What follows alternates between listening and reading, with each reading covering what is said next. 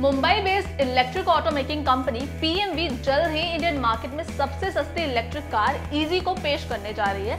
बता दें कि ये कार देश की सबसे सस्ती ईवी तो होगी ही, साथ ही ये एक माइक्रो इलेक्ट्रिक कार भी होने वाली है। जी हाँ ये कार साइज़ में ऑल्टो से तो छोटी होने वाली है ही, लेकिन अब देखना ये होगा कि क्या ये ईवी ऑल्टो जैसी कार जो सालों से इंडियन कस्टमर्स की पहली पसंद रही है, उसे टक्कर देने का दम खम रखती भी है या नहीं? Well hello and welcome to Auro Nest और मैं हूँ आपके साथ मनीषा। आज के इस वीडियो में हम आपको इस माइक्रो इलेक्ट्रिक कार के बारे में डिटेल में जानकारी देंगे तो वीडियो को एंड तक ज़रूर देखें। सिर्फ़ 550 केजी की होगी इजी जैसे कि हमने आपको बताया कि इजी एक माइक्रो इलेक्ट्रिक कार होने वाली है, जिसके चलते इस कार में सिर्फ़ चार लोगों के ही बैठने की जगह होगी। वहीं ईवी के मेज़रमेंट के बारे में अगर बात करें तो रिपोर्ट्स के अनुसार इस कार की लंबाई 2915 मिलीमीटर, चौड़ाई ग्यारह मिलीमीटर और ऊंचाई 1600 मिलीमीटर होगी। वहीं इसका व्हील बेस दो हज़ार सतासी मिलीमीटर होने के साथ ग्राउंड क्लियरेंस 170 मिलीमीटर का होगा।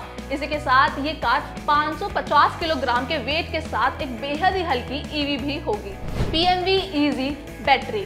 चलिए अब इस ईवी की बैटरी की भी बात कर लेते हैं और आपको बताते हैं कि देश की सबसे सस्ती होने वाली इलेक्ट्रिक कार में 10 के डब्ल्यू एच की लिथियम आयन पोस्टपेड बैटरी के साथ 15 K W P M S M electric motor लगी होगी। वहीं इसकी टॉप स्पीड की बात करें तो ये 70 किलोमीटर पर आवर होगी। इसके अलावा कंपनी का कहना है कि वो इस ईवी को तीन वेरिएंट में लॉन्च करेगी और वेरिएंट के हिसाब से ही इसकी रेंज 120 से लेकर 200 किलोमीटर पर चार्ज तक मिलेगी। PMV price and launch date company अपनी इस इलेक्ट्रिक कार को 16 नवंबर को लॉन्च करने वाली है। इसके साथ ये भी बता दें कि इजी के मिड और टॉप वेरिएंट को बेस वेरिएंट से पहले लॉन्च किया जा सकता है। जी हाँ मार्केट में इस ईवी के बेस वेरिएंट से पहले ही मिड और टॉप वेरिएंट दौड़ते दिखाई देंगे। इसके अलावा इस कार को टोटल 10 कलर ऑप्शंस में पेश किया जा सकता है। वहीं इस माइक्रो इलेक्ट्रिक कार की कीमत की अगर बात करें तो इसके 160 किलोमीटर रेंज वेरिएंट की कीमत 4 से 5 लाख रुपए एक्स शोरूम हो सकती है।